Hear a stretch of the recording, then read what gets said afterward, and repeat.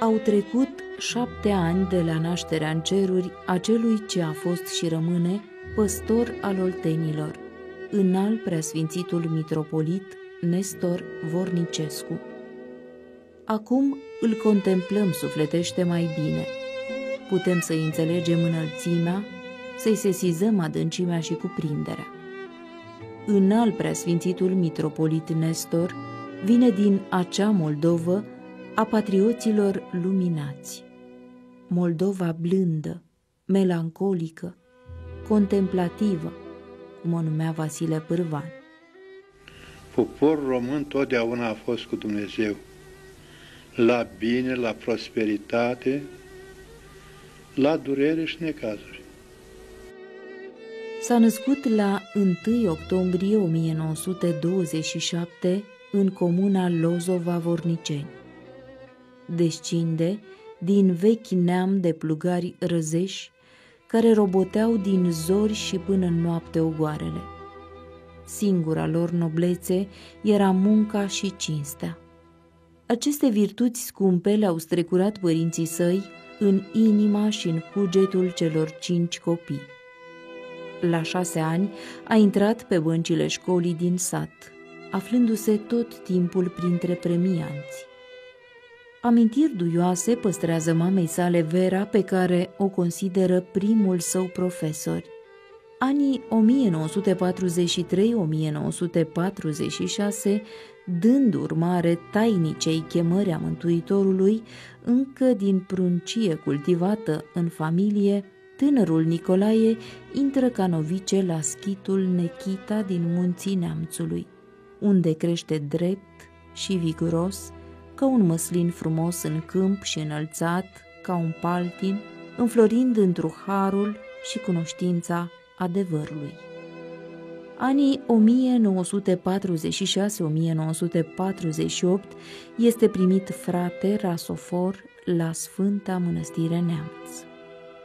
Aici urmează seminarul călugăresc de muzică bisericească pe care l-a absolvit ca premiant în anul 1951.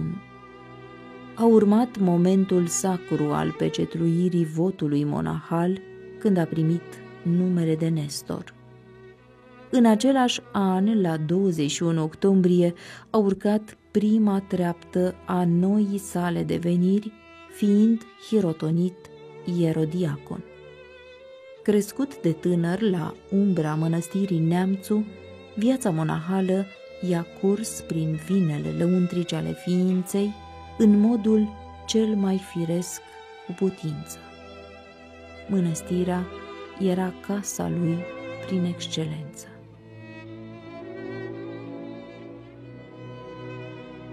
Să fie mele mare Dumnezeu, Mântuitorul nostru Iisus Hristos, cu voi cu toți.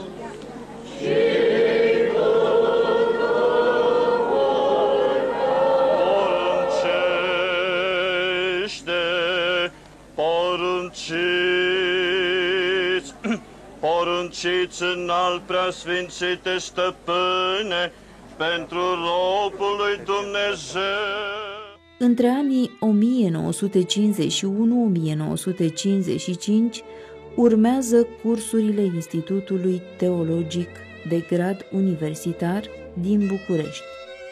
Anii 1955-1958 se înscrie la cursurile de doctorat, magistru în teologie, secția istorică, specialitatea principală, patrologie. Finalizate cu tema primele scrieri patristice în literatura noastră, secolele 4-14, pe care o susține în anul 1983. Traiectoria vieții sale este într-o continuă ascensiune, ridică noi trepte. Hirotonit ieromonah la 18 iulie 1956 preot slujitor la Catedrala Mitropolitană din Iași, 1958, bibliotecar la acel centru eparhial și primește hirotesian duhovnic în anul 1960. I se conferă alte titluri, distinții, dar și munci de răspundere. Conducerea mănăstirii Sfântul Ioan cel Nou de la Suceava, unde, foarte curând, i s-a acordat rangul de protosinghel. Iar la sfârșitul anului 1965, la propunerea înaltului ierarh de Iași, Sfântul Sinod i-a acordat rangul de arhimandrit fiind hirotesit la 2 mai 1966. Cu tinerească vigoare își desfășoară activitatea ca stareț al Sfintei Mănăstiri Neamțu.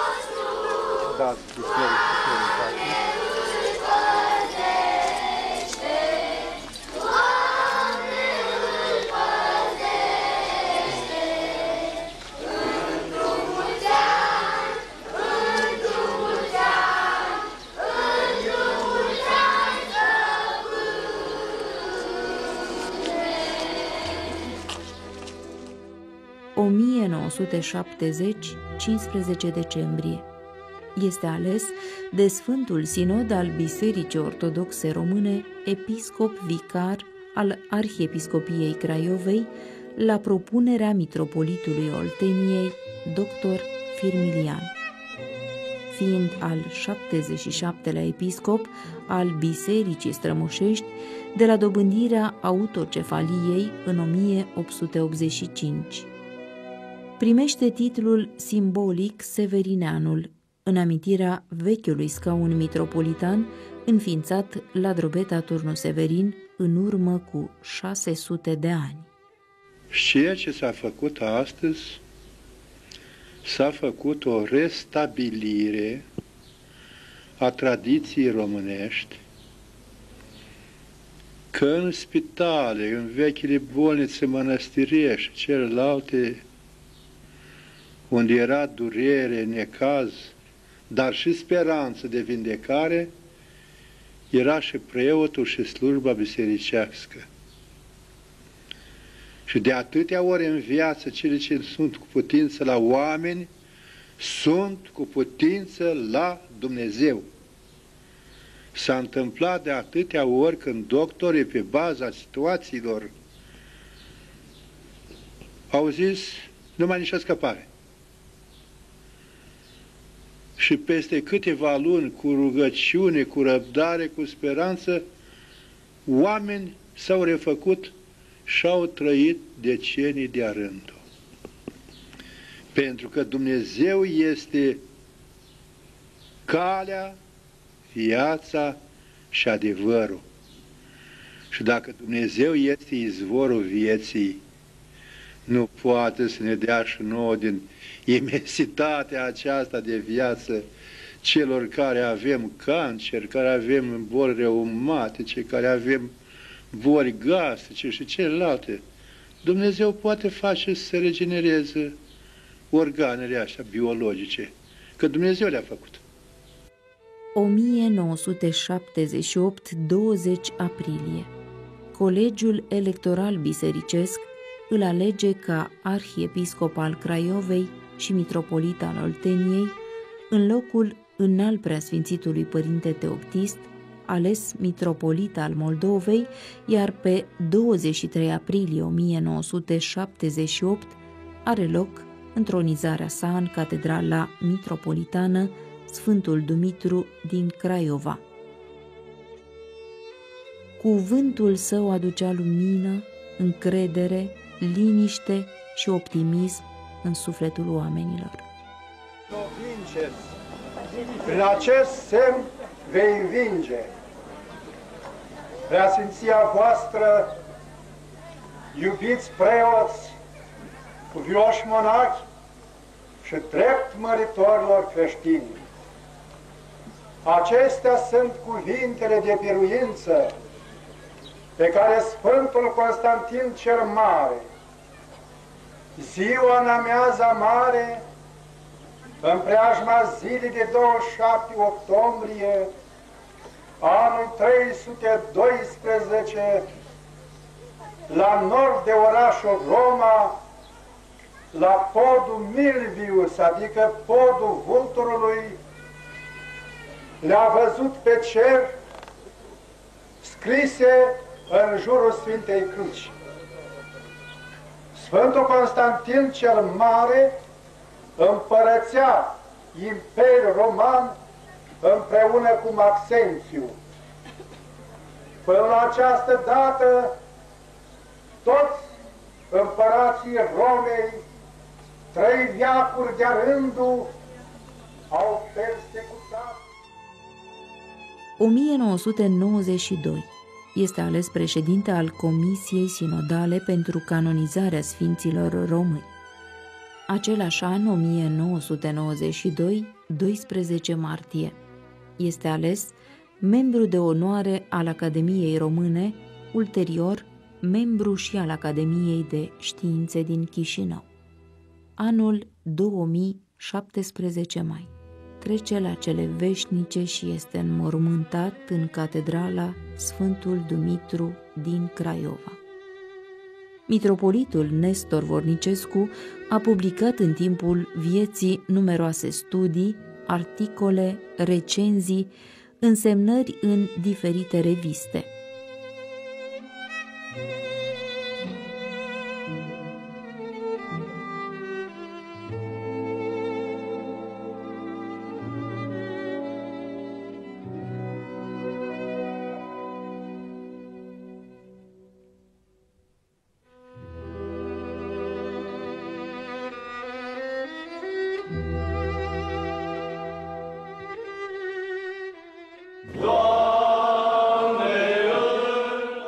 Preasfințitul mitropolit dr. Nestor Vornicescu este un ierarh al certitudinilor.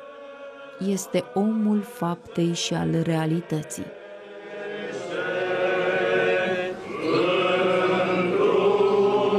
Doamne Dumnezeu, Mântuitorul nostru, Cel ce toate le lucrezi și porți grijă spre mântuirea neamului omenesc. Primește rugăciunile noastre al nevrednicilor robilor tăi și ne învrednicește pe noi. Pentru acest ceas, ca fără de o sândă, să săvârșim sfințirea acestei Sfinte Biserici, care s-a ridicat în numele Sfântului Mare Ucenic Pantelimon, doctor fără de argint, spre mântuirea noastră și întemerea Sfintei tale mese, într-o lauda și sfânt numele Tău. Ție se cuvine toată slava, cinstea și închinăciunea Tatălui și Fiului și Sfântului Duh, acum și pururea și în vecii vecilor. Printr-o activitate de o întinsă suprafață și de o uimitoare adâncime, a luminat și însuflețit, a explorat imagini încă necunoscute din istoria noastră a îndrumat credincioșii pe calea dreptei credințe și a restaurat mănăstirile oltene. A fost cu multă bunătate și cu iubire față de viețuitorii din mănăstiri și deopotrivă cu preoții. Preoții l-au iubit pe păstorul lor întru Hristos. Cuvântul ferm, dar plin de căldură și înțelegere, sesizat de cei ce aveau inimă să simtă inima mitropolitului.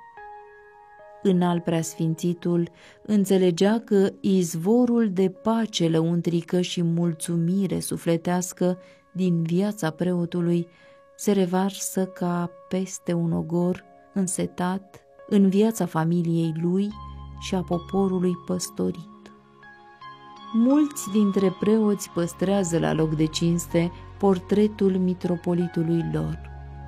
De până acum șapte ani, în bisericile unde slujesc și în casele lor, printre chipurile celor dragi. dacă preoții nu depun activitate consistentă și permanentă, nu se face nimic. Unde preoții sunt jertfelnici, dau chiar din salarul și cu tare, lucrurile se fac. Uite, la Craiova, la Lascăr Scatargiu, Părinte Rășceanu a ajuns cu biserica la acoperiș. În altă parte, la Craiovița și la Paști, toți banii care au fost și-au făcut salarii și biserica nu promovează. V-am spus că depinde de preoți. Ca și în alte domenii. În numele Tatălui și al Fiului și al Sfântului Duh. Înălțatul te-ai într slavă, Hristoase, Dumnezeul nostru, bucurii făcând ucenicilor tăi cât li se putea, prin păgăduința Sfântului Tău Duh, înțelegând ei că Tu ești Fiul lui Dumnezeu, Mântuitorul lumii. Cinstiți-or cujitori bisericești și iubiți-or dreptmăritori creștini. Acesta este troparul praznicului de astăzi, al înălțării la ceruri al Domnului nostru Iisus Hristos. În istoria omenirii, pentru mântuirea noastră sufletească, a fost Dumnezeu. Și a fost nevoie rânduită de Dumnezeu ca să se coboare Hristos în slava cerească, în smerenie, prin lucrarea Duhului Sfânt, să întrupeze din Fecioara Maria, să trăiască în mare smerenie 30 de ani și pe urmă 3 ani să aibă activitate publică, predicând Sfânta Evanghelie, săvârșind minuni, vindecări de bolnavi, învieri din morți, și pe urmă să fie judecat pe nedrept, să-și dea viața pentru noi, să moară, să fie îngropat, să învieze a treia zi după Scripturi și apoi 40 de zile. Cu trupul de data asta transfigurat, care pătrundea prin ușile încuiate, a ajuns la Sfinții Apostoli, care într-o clipă era la distanțe mari, le-a confirmat și le-a pecetuit convingerea Sfinților Apostoli, Sfinților Ucenici, Fecioare Maria și tuturor din epocă că acesta este Hristos, cel judecat, mort, îngropat și înviat. Dar după cum s-a coborât din ceruri, așa cum a trebuia să coboare iarăși, să ridice la ceruri, să pregătească, cum a spus, loc pentru fiecare dintre noi. Și în schimb, la coborârea Duhului Sfânt, peste 10 zile de astăzi, la Duminica Cinzecimii, se coboare asupra umanității puterea lucrătoare a celei de-a treia persoane a Sfântului Trăim, a Sfântului Duh, care călăuzește biserica, încălzește inimile credincioșilor, întărește pe credincioși, luminează și mântuiește. al Craiovei și mitropolit al Olteniei, Dumnezeiescul har al preasfântului și de viață făcătorului Duh, dat de Domnul și Mântuitorul nostru Isus Hristos, Sfinților Săi ucenici, Slavă Dumnezeului nostru în veci! Stropim voi cu isop și mai curăți, Spăla-mă vești mai virtuos decât zăpada, mă voi albi. Tropim-mă vei cu isop și mă vei curăți. Pace strâng. Spăla-mă vei și mai virtuos decât zăpada mă voi albi. Havzuna veda kureş beselliye. Bu kuras bunu asıl mene çelefelidir Havzuna veda bu kureş beselliye. Bu kuras bunu asıl mene çelefelidir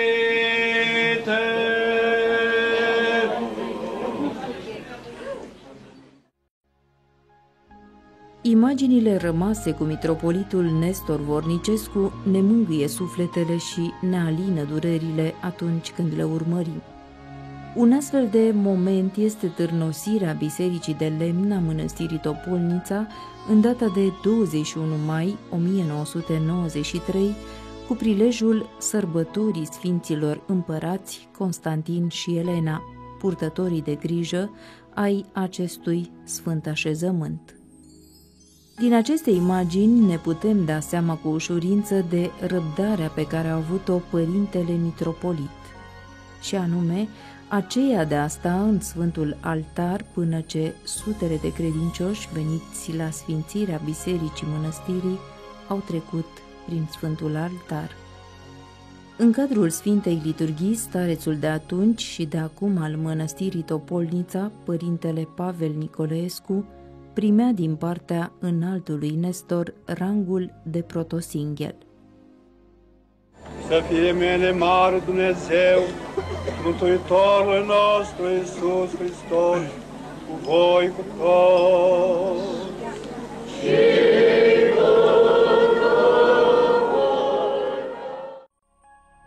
Jirov, 23 mai 1996, de praznicul înălțării Domnului.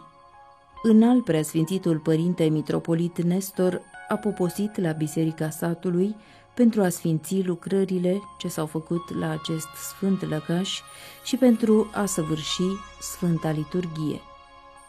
Un moment deosebit a fost acela în care părintele mitropolit a asistat la un mic concert susținut de un grup de copii ai școlii din Jirov, condus de fiul părintelui Ștefan Cameniță, pe nume Victor, și care actualmente este preotul parohiei Jirov în locul tatălui său.